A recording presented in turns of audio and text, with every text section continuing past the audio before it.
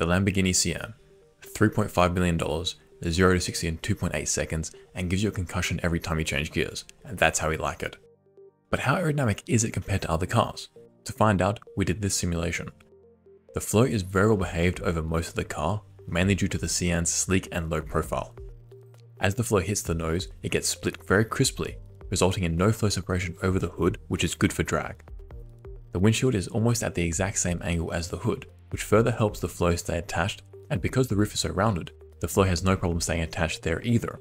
But once we get to the back, we get some premature flow separation, which is mainly due to the jagged features on the top, which look great but aren't that aerodynamic. As such, the wake blows out more than expected. Several vortices form there, which isn't good for drag. The flow over the underbody is very well behaved though, and that is good for downforce, but because the wake is still fairly neutral, that overall, little lift or downforce is being produced, and in fact the lift coefficient comes in at just 0.053.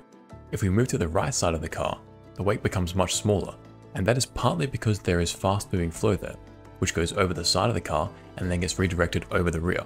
That is good for reducing drag.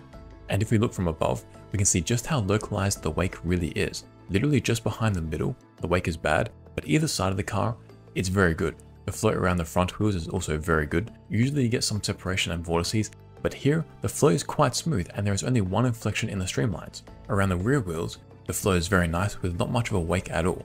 The rear edges of the car are angled nicely into the wake, which helps direct the flow into the wake region, which is also why we get such a small wake. Looking at the vortices, the Sian is very impressive. There are literally no A-pillar vortices at all, which is really hard to do. There are vortices from the wheels, which happens, those are really difficult to mitigate. But in the wake, there are only relatively small vortices, so the engineers have done a great job breaking up the large vortices into small ones. Looking at the drag over the car, it is clear that the only region producing substantial drag is the rear quarter of the car, which is due to the premature flow separation we saw earlier.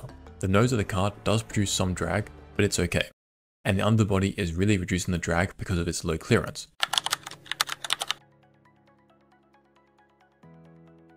It comes in at just 0.36, which is really good for a supercar. That rivals a Ford Fiesta. So if you're going to buy a Ford Fiesta, you should buy a Lamborghini Sian instead. Peace out amigos.